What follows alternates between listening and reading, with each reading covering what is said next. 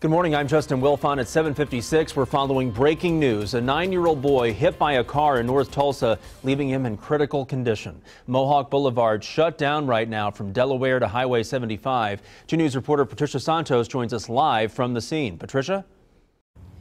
Justin, uh, we're still getting some information about exactly what happened, but police telling us that that little boy was walking right in the middle of the street, and you can see where in the area he was hit. You can see that where that car is parked, that is the vehicle that hit him. Now, police telling us, as you said, um, that he is in critical condition at St. John Hospital this morning.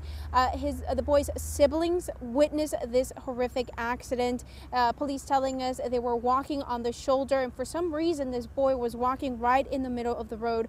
The female driver, uh, according to police, did not uh, appear to be doing anything wrong. Uh, we just talked to the family member of uh, that driver, and she tells us that uh, these boys uh, apparently were walking to a school bus stop here, and that is when when this accident happened. Um, we're going to continue to gather more information out here and bring you the very latest on KJRH.com and our mobile app.